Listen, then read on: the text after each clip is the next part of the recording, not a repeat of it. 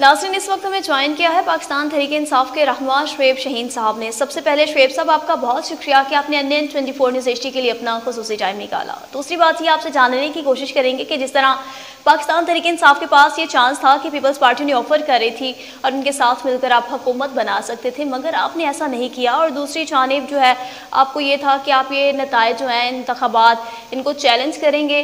और कानून से आपको इंसाफ भी मिल जाएगा मगर ऐसा नहीं हुआ और ना ही आपकी सीटें ज़्यादा हुई हैं। तो दूसरी जानब बैरिस्टर साहब ने भी ये कह दिया है कि वो विफाक और पंजाब में अपोजिशन में बैठेंगे क्योंकि खान साहब ये फैसला कर चुके हैं। तो क्यों खान साहब ने ये फैसला किया? वो क्यों विफाक और पंजाब में अपोजिशन में बैठना चाह रहे हैं? हुकूमत नहीं बनाना चाह रहे।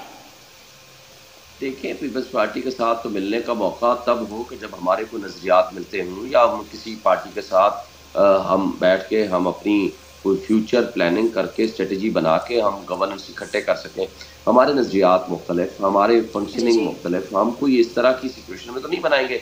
हमारा तो टू थर्ड मेजोरिटी है जो हमारा हक छीना गया है। रिटर्निंग अफसर की मिली भगत से ताकतवर लोग इदारों की मिली भगत से और वो टकेती हुई है हमारे सामने सबकी आँखों के सामने। सबके पास मौजूद है सारे एविडेंसेस मैंने जैसे आपको कहा। अब अगर सरेआम सबकी आँखों के सामने पूरे मीडिया ने दिखाया हम जीते हुए हैं और उसके बाद जा करके वो डाकाजनी करते हुए उन चोरों को मुसलत कर दिया गया हमारे ऊपर जिन्होंने आवाम का मैंडेट चुराया है और डाकाजनी की है। तो फिर हमारे पास क्या ऑप्शन मौजूद है सिवाय इस बात के कि हम जा करके अपोजिशन में बैठे? लेकिन हम अभी भी उम्मीद रखते हैं इलेक्शन कमीशन से और हाई कोर्ट से इससे पहले हमारे फैसले कर दें। देखिए मेरे नॉलेज में नहीं है।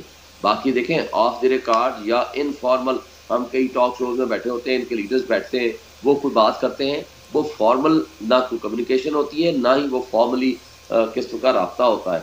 इनफॉर्मल किसी ने किसी से किया है तो मेरे नॉलेज में नहीं है।